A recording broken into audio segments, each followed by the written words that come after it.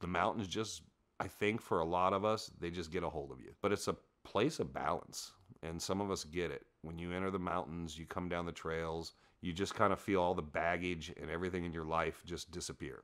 And then when you leave, you feel it come back. But you get hooked in, and it's an addiction of going out there and feeling that.